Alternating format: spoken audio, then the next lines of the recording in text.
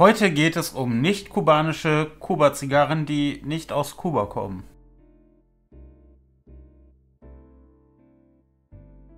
Hallo und herzlich willkommen zu einem neuen Video über etwas Genuss. Und heute haben wir uns mal wirklich ein besonderes Thema rausgesucht. Es geht um das Thema kubanische Zigarren in den USA. Das ist nämlich ein großes Thema. Das ist ja ein bisschen ein verwirrendes Thema.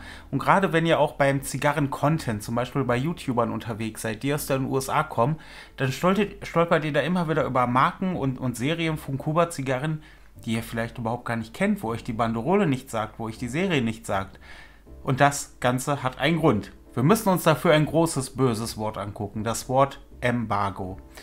Anfang der 60er Jahre gab es eine minimale Auseinandersetzung zwischen Kuba und den USA und das führte dazu, dass es zu einem Embargo kam. Ein Embargo ist ein Handelsverbot, ein Handelsstopp. Die USA haben gesagt, es wird nichts mehr aus Kuba importiert und wir exportieren auch nicht mehr nach Kuba.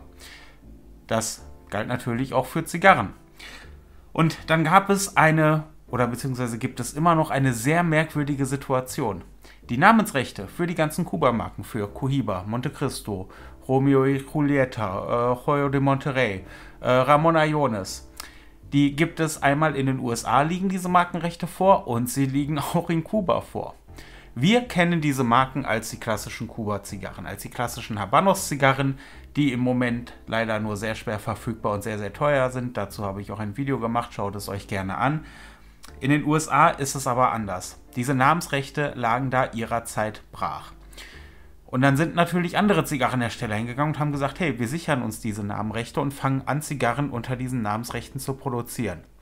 Und bevor der Aufschrei losgeht, und ich weiß, dass der Aufschrei kommen wird, diese Zigarren haben nichts mit Habanos zu tun. Sie sollen die kubanischen Marken nicht imitieren. Es sind einfach Zigarren, die unter diesen Marken laufen. Da geht es nicht um Fakes, da geht es nicht um Nachahmung. Das sind einfach nur Namensrechte, die da vergeben wurden. Aber das Ganze führt zu ein paar verschiedenen Konstellationen und diese Konstellation schauen wir uns heute einmal an. Schauen wir uns zum Beispiel diese Zigarre an. Das ist die Monte Cristo Nummer 5. Ich habe dafür ein Review schon bereits gedreht und es ist eine der großen bzw. der kleinen klassischen kubanischen Zigarren. Sehr beliebtes Format, sehr beliebte Marke. Ähm, auch tatsächlich Monte Cristo eine der Marken, die immer noch mit am besten verfügbar ist, wenn sie denn verfügbar ist. Wie gesagt, das Review zu der Monte Cristo Nummer 5 ist online, ist eine klassische kubanische Zigarre. Alle Aromen, die man von Habanos erwartet, findet ihr hier drin wieder. Klein, aber fein. Und dann gibt es sowas hier. Das hier ist die Monte Cristo Platinum Series Churchill. Ihr seht schon, natürlich, das Format ist ein anderes. Also es geht jetzt nicht darum, dass wir hier die Formate miteinander vergleichen, aber die Aufmachung ist auch eine andere. Das hier ist ein US-amerikanischer Monte Cristo. Hier müsste, wenn ich mich nicht irre, Nicaragua-Tabak drin sein. Und ähm, das ist halt tatsächlich ein Tabak, der in den USA sehr, sehr gerne genommen wird. Die, die, ähm, da ist die Tendenz zu Nicaragua-Tabak und Nicaragua-Zigarren sehr hoch. Und ähm, das müsste, meine ich, auch hier der Fall sein. Aber es ist halt eine komplett andere Marke. Es geht nicht darum, dass diese Marke diese nachmachen will. Es geht einfach nur darum, dass man die Möglichkeit hatte, die Marke auch Monte Cristo zu nennen. Auch das Emblem und die ungefähre Aufmachung ähm, des Zigarrenrings sind ähnlich, aber dann doch unterschiedlich. Ja, ich meine, alleine die Farbgebung und wenn, in, wenn man ins Detail geht, fällt das auch auf, aber hier die Markenrechte wurden einfach genutzt für eine andere Zigarre und das ist natürlich sehr, sehr spannend. Was daran natürlich sehr schade ist für uns jetzt, diese Zigarre gibt es in Deutschland nicht, beziehungsweise in Europa nicht. Nicht soweit ich weiß. Das sind halt im Regelfall US-exklusive Geschichten, die da laufen. Diese Zigarre hier habe ich von Zuschauer ähm, Sven zugeschickt bekommen. Die Monte Cristo übrigens von Zuschauer Jens. Das möchte ich an der Stelle nur dazu sagen. Und ähm, die finde ich sehr, sehr spannend. Ich werde diese Zigarre auch mal in Form eines Reviews verköstigen. Dann natürlich mit dem Hinweis, das ist eine US-Zigarre. Wenn ihr mal die Möglichkeit habt, in die USA zu reisen, könnt ihr euch sie anschauen. Aber ansonsten, wenn ich sie mir anschaue und sie riecht leicht, leicht nussig, leicht erdig. Sie, sie, sie hat eine tolle Haptik, sie fühlt sich gut an. Es ist eine Premium-Zigarre in meinen Augen die halt einfach den Namen Monte Cristo trägt, aber hier dann im Fall die Platinum Series und nicht eine Monte Cristo Nummer 5, äh, weiß ich nicht, White Edmundo oder was auch immer, sondern halt einfach eine andere Monte Cristo. Das heißt, wir haben einmal die Konstellation, dass wir es mit Zigarren zu tun haben, die wir so gar nicht kriegen und die in eine Form einer eigenen Marke laufen. Ein ähnliches System, aber ein bisschen anders, finden wir in den USA auch noch vor. Dafür gehen wir mal hier rüber. Diese Habanos, die kennt ihr so, beziehungsweise so ähnlich. Das hier ist die Ramona Ionis Gigantes. Im Format Specially Selected, im Wesentlichen ein Robusto-Format, habe ich die Ramona Ionis bereits für euch reviewed. Die Gigantes hier geht auch auf Zuschauer Jens. Nur damit ihr das auch wisst, damit er auch erwähnt ist. Und es ist wie gesagt auch eine große klassische Habanos-Marke, ähm, äh, weit und breit bekannt, eine wirklich der klassischsten Marken. Also die, man sagt oft die Ramona Ionis Specialist Selected, das ist quasi so eine Messlatte für typisch Kuba. Ähm, dem würde ich jetzt, nachdem ich sie reviewed habe, damals auch zustimmen. Aber dann finden wir jetzt hier sowas. Und ich muss an dieser Stelle dazu sagen, diese Zigarre ist quasi nur ein Platzhalter. Es geht nicht um exakt diese Zigarre, es geht um die Marke. Das hier ist die New World Dorado von AJ Fernandez. In den USA ist es nämlich so, dass AJ Fernandez die Ramon Iones produziert.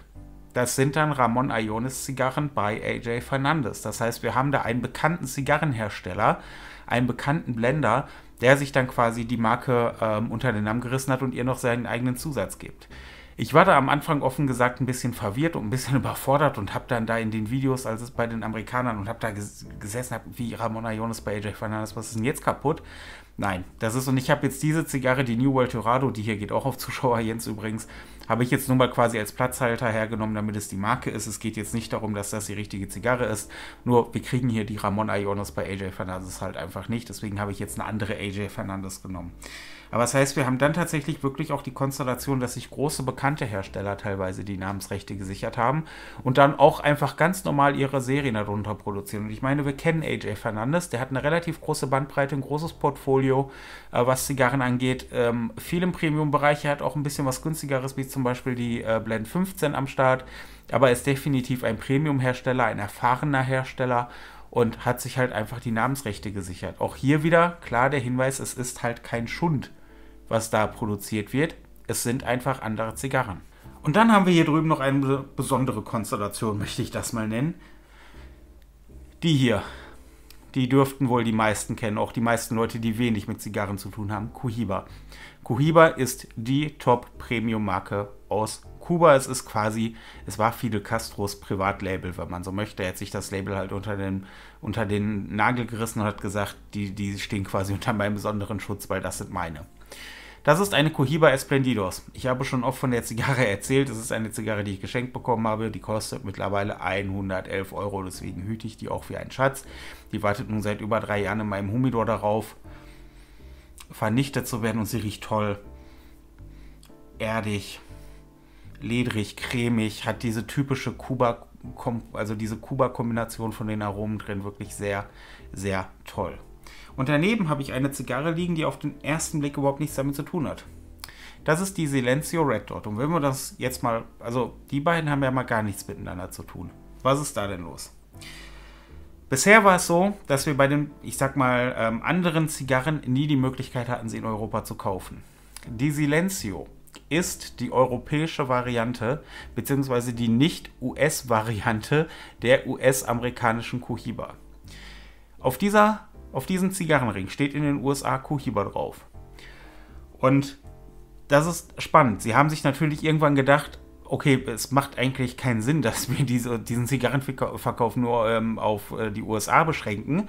Wir wollen auch quasi den Rest der Welt mit unseren Zigarren beliefern. Wir brauchen halt einfach einen anderen Namen. Und dann hat man sich für Silencio entschieden. Das heißt, wenn ihr eine Silencio raucht, zum Beispiel eine Red Dot oder eine Black oder was auch immer, dann raucht ihr eine US-amerikanische Cohiba. Es sind exakt die gleichen Zigarren. Sie mussten nur einmal die Zigarrenringe umdrucken, sie mussten die Kisten umdrucken und haben dann quasi ihre Zigarren in den Rest der Welt gebracht. Und das finde ich sehr, sehr spannend, weil das ist für uns die Möglichkeit, einmal wirklich tatsächlich über den Tellerrand blicken zu können, ohne dass wir irgendwie in die USA reisen müssen oder dass uns vielleicht jemand etwas aus den USA mitbringt. Das finde ich sehr, sehr spannend. Ich habe von den Red Dots schon äh, ein paar geraucht. Ich habe die Black auch schon geraucht und ich kann sagen, das sind ganz stabile, leicht würzige Zigarren, die aber wirklich Spaß machen und ähm, stabil abliefern. Auch hier wieder, es ist kein Fake, es ist kein billig zusammengeramschter Schund, es sind einfach Premium-Zigarren, die dann in den USA unter einem anderen Label laufen. Und hier die Silencio einfach mal als Beispiel, dass man auch teilweise gar nicht ja, in die USA reisen muss, um ein bisschen US-Kuba um es mal sozusagen erleben zu können. Und jetzt kommen wir noch zu einer besonderen Zuschauerspende, zu der habe ich neulich auch wirklich einen dedizierten Haul gemacht. Zuschauer Tino hatte die Möglichkeit, sich aus den USA halt eben genau solche Zigarren mitbringen zu lassen. Und da haben wir hier jetzt wirklich ganz spezielle Sachen. Wir haben eine Romeo e Giulietta, wir haben hier nochmal eine Monte Cristo, ähm, wir haben eine Herr Uppmann, wir haben hier noch eine weitere Monte Cristo, eine weitere Romeo e Giulietta. Und das ist halt wirklich echt spannend. Und ich kann euch eins sagen, von der Aufmachung, von der Optik, von der Haptik her, die riechen wahnsinnig toll. Das ist, ich habe richtig Bock darauf, die zu rauchen. Ich werde sie alle in Reviews packen. Ich werde dann dazu quasi eine eigene Review-Serie machen. Eine, ich nenne sie mal US-Habano-Serie, um es ich weiß noch nicht genau, wie ich sie nennen will, aber so in die Richtung wird es gehen, weil ich mittlerweile echt einige am Start habe. Die Silencio wird sicherlich auch damit reinwandern in diese Serie, einfach weil sie im Prinzip ein US-Habano Smoke ist. Vielen lieben Dank an Jens, an Sven und an den guten Tino dafür, dass ihr mir einen Einblick gegeben habt in diese, ähm, ja, in diese Zigarrenwelt, möchte ich das mal nennen. Das ist wirklich sehr, sehr spannend und ich hoffe, dass ich auch jetzt bei euch dafür ein bisschen Aufklärung sorgen konnte. Wusstet ihr, wie die Situation mit den US-Habanos-Marken ist. Macht es das jetzt vielleicht ein bisschen verständlicher, wenn ihr mal US-amerikanische YouTuber oder Content Creator schaut oder euch da generell mal im Infomaterial bewegt. Wie findet ihr das? Findet ihr das gut? Findet ihr das schlecht? Findet ihr es verwirrend? Ist es vielleicht gar nicht mehr verwirrend? Schreibt es mir sehr, sehr gerne unten in die Kommentare dann macht es viel besser. Kommt in die Etwas Genuss Lounge. Kommt in unsere Facebook-Gruppe, kommt auf unseren Discord-Server. Ihr findet alles unten verlinkt. Mehrere hundert Mitglieder haben sich da schon zusammengefunden. Würde mich freuen, euch da begrüßen zu dürfen. Ihr könnt das Projekt hier natürlich auch sehr gerne unterstützen. Entweder indem ihr mir Zigarren zuschickt, so wie es einige Zuschauer schon gemacht haben. Dann landet ihr auch auf der Wand der Spendenlegenden. Hey! Ihr könnt sehr, sehr gerne auch eine PayPal-Spende oder ein YouTube-Thanks da lassen oder Patreon-Mitglied werden. Auch da werden euch reichlich Vorteile geboten. Ihr kriegt exklusive Dinge und unterstützt das Projekt hier regelmäßig. Ich kann mich an dieser Stelle nur noch für eure Aufmerksamkeit bedanken. Lasst diesem Video gerne einen Daumen nach oben da, wenn es euch gefallen hat. Lasst ein Abo da und da unten habe ich euch einfach mal den den Haul von dem Tino verlinkt. Wir sehen uns das nächste Mal im nächsten Video, garantiert mit etwas Genuss.